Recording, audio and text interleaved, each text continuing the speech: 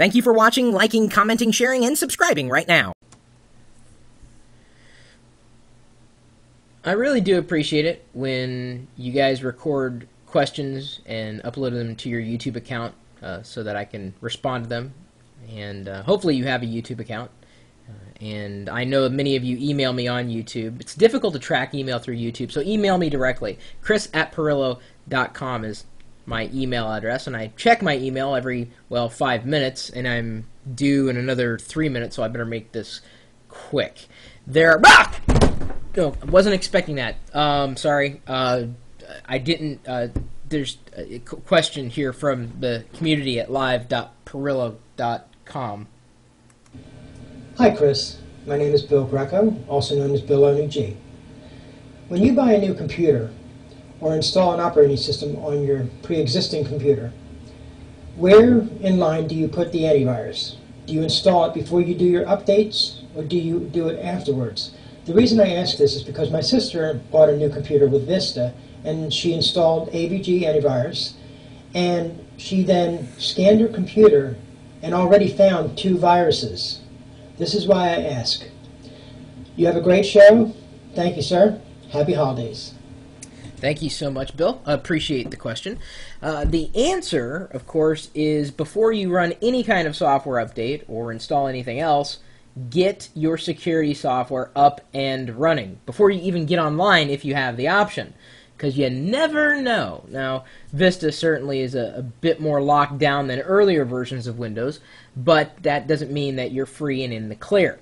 Uh, if you don't scan for nasties uh, before installing new software, well, you don't know if that new software installation will be corrupted because of the fact that there are nasties currently sitting on your computer. Now you may be thinking to yourself, what if I've done a clean install, I wipe the drive, install the operating system from scratch, could I have a virus? Does it come with Windows? Well, some people might argue that uh, Windows is a virus, but that, that's a different argument for a completely different video.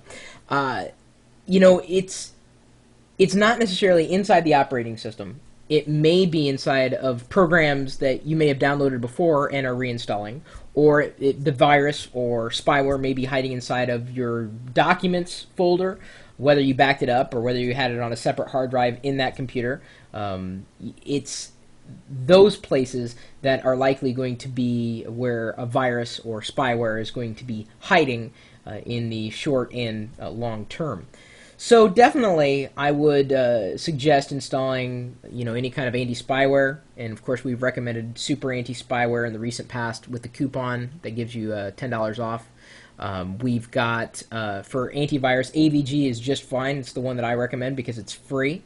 Uh, for uh, uh, I guess I don't know what else do you guys use? and I know I've asked this question before, but everybody's got an opinion, and and you know, this is your chance to share it, other than just saying first if you were the first to comment on a video. I appreciate those first comments. However, it'd be nice for you to contribute back to the community, not just ask questions, but also answer questions. I mean, we're always here to help. That's my uh, recommendation as a computer enthusiast, but also a, a somewhat of an expert. I, have never really claimed to be an expert. I'm just a guy who enjoys this stuff, and hopefully you do too. If you have any other recommendations for Bill and him, any member of his family, or maybe for your family, by all means, feel free to suggest away. Either leave a video follow-up response or blog about this video, embed it in your own site. It doesn't matter. I love it when people embed our videos. And then, of course, you're also welcome to email me with any suggestions or recommendations, possibly tips. Maybe you've got a top five tips of keeping your computer protected uh, when you reinstall Windows, or maybe top five tips of a, another kind altogether let me know. My email address again is chris at pirillo.com, and our chat room is currently just hopping up and down. Look at that. Boy, there you're just... I'm going to bounce out of my chair, dang it. Why is she whapping me? She's apparently whapping me. Hang on. Cat, why are you whapping me? Why am I getting whapped? I, am not... Oh, she wants she wants to talk. Okay, Cat. Take it away. Thank you. I have an excellent point to add to this video. Never, ever, ever update to SP2 for Windows XP if you even think you may have any kind of infections on there. That can cause dangerous problems serious Windows operating problems, and you will lose your operating system most likely. If you have SP1 or no service packs on XP, make sure you check for viruses and spyware prior to updating to SP2. That is critical. Point well taken. Thanks for that addition. Now, Kat, since you've uh, What I find interesting is that Microsoft solved this problem once already. Uh, with Windows Server 2003, after you installed it, as part of the installer, it used a special like version of the Windows Firewall to let you get the updates before your computer was on the internet all the way, so that these viruses and worms couldn't infect the computer before you had finished downloading and installing all the updates. But they didn't include this technology in Windows Vista. Well, see, that's the thing.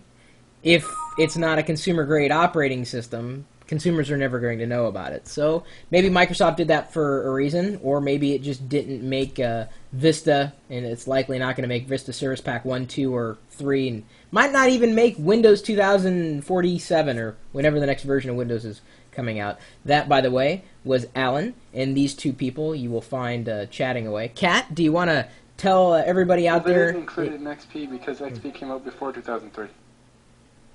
Well, yes, but well, did it? sorry. No, it didn't. It came may have come out before XP Service Pack 2, but not XP the first edition. The first, they're ask, they're saying they didn't include it in the first edition of XP, and I'm saying they didn't because they didn't invent it till after XP had already come out. All right, fair enough. See, we're always debating this stuff. So what are you waiting for? Cat, tell them where to find us. Sure thing, Chris. You guys can typically find us talking tech anytime, day or night. Heck, we might even help you learn how to properly protect your PC. Come on and join us anytime, day or night, in one place. Live.pirillo.com. We'll see you later.